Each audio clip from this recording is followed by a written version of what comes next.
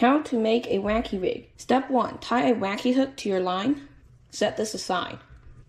Put a wacky rig O-ring onto a stick bait.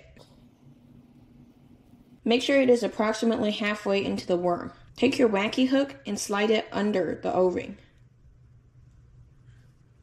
And you have a wacky rig.